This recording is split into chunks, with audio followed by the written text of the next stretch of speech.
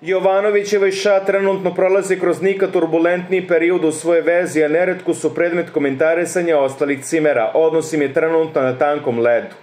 Bivša reality učesnica Vanja Živić progovorila je o konstantnim napadima učesnika elite zbog njegovog postavljanja za vođu Stanislava Krofaka.